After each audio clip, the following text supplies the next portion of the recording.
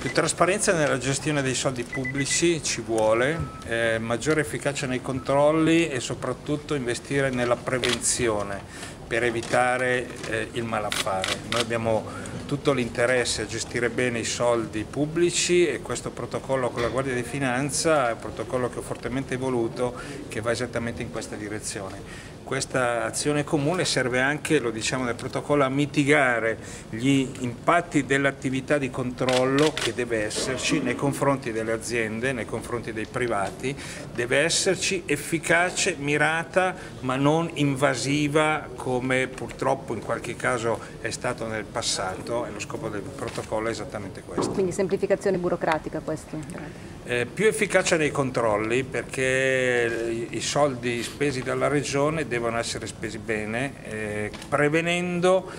situazioni di malaffare. Si volta pagina rispetto al passato, lei che sono stati aboliti tre protocolli in sostanza. Sono stati sostituiti e integrati, è una novità importante, interessante che può fare anche scuola, eh, come sempre la Lombardia è innovativa da questo punto di vista, eh, ovviamente dovremo verificare l'efficacia e per questo ci sarà un tavolo eh, di confronto costante tra la Regione e la Guardia di Finanza per lo scambio di informazioni che che è un atto fondamentale alla base dell'efficace dell applicazione di questo protocollo. Beh, diciamo che questo è un momento organizzativo in cui ci si confronta, eh, si è messo a punto un, eh, un sistema di eh,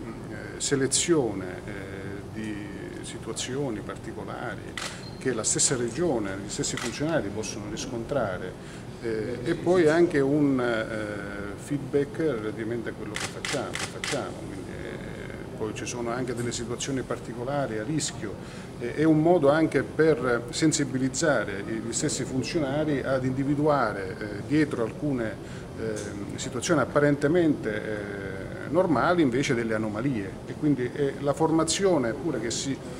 che eh, metteremo a punto con eh, la Regione servirà anche a selezionare e a cercare di fare le cose, i controlli mirati e, giusti. La Guardia di Finanza è una, eh, una forza di polizia, fa attività investigativa, e, ehm, la Regione è un ente istituzionale importante e aver fatto questo protocollo significa che c'è l'interesse a che sul fronte della spesa pubblica ci sia una, un rigore, un controllo importante direi se possibile eh,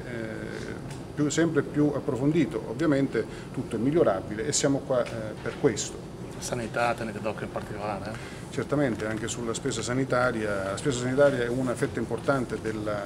della spesa pubblica, quindi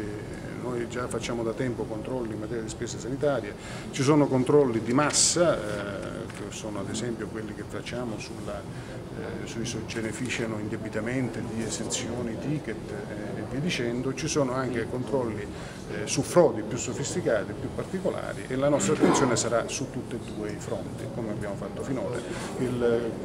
questo, ehm, diciamo così, il salto di qualità eh, di questo protocollo consiste sostanzialmente nel fatto che vi è il partner istituzionale della Regione che eh, acquisisce una sensibilità eh, e la, la, coltiva per individuare eventuali anomalie, eventuali frodi, eventuali patologie, collaborare col corpo della Guardia di Finanza per, per prevenire da una parte e eventualmente eh, pre, reprimere laddove necessario. Eh, domani ci sarà la visita mia a Barcellona, incontrerò il Presidente Artur Massa e una delegazione come nella mia qualità di Presidente dei quattro motori d'Europa. Sarà l'occasione anche per parlare dei rapporti tra la Lombardia e la Catalogna, per invitare il Presidente Mas a giugno di quest'anno eh, all'incontro che faremo qui a Milano con i presidenti delle quattro regioni motori d'Europa e invitarlo anche ad altri appuntamenti. Ci sarà una delegazione di imprenditori, di imprese, è la mia prima visita ufficiale fuori dalla Lombardia e sono davvero contento di farla in Catalogna. La Catalogna si sta prestando ad una prova difficile sul piano istituzionale interno che guardiamo con grande attenzione che è il referendum che i catalani faranno a novembre, parleremo anche di questo e quindi una prima visita fuori dalla Lombardia ma particolarmente significativa. Visto che oggi c'è stato la direttiva di emergenza qui dell'Unione delle Province Lombarde, so che lei si è visto anche, si è sentito con il Presidente delle Province Venete eh, Muraro, c'è la possibilità che ci sia un accordo comune per un ricorso? Ma se le province lo faranno, sì, mi hanno, hanno, chiesto alle regioni di farlo, cosa che sulla legge di stabilità, non sul DDL del Rio perché non è ancora legge. Domani mattina sarò in audizione alla prima commissione del Senato a parlare del DDL del Rio, esprimerò anche lì le, la contrarietà della Regione Lombardia e delle regioni alla formulazione del DDL del Rio. In particolare per la Lombardia è complicata la situazione perché l'abolizione totale delle province comporterebbe un, la necessità di riprendere in carico da parte della Regione tutti i servizi che la Regione Lombardia nel corso degli anni ha trasferito alle province con un netto aumento dei costi, diminuzione dell'efficacia dei servizi in una fase transitoria non breve a tutto svantaggio dei cittadini. Questo dirò domani al Senato, in Parlamento, perché è giusto riformare il sistema, ma bisogna farlo bene, non facendo aumentare i costi e diminuire i servizi.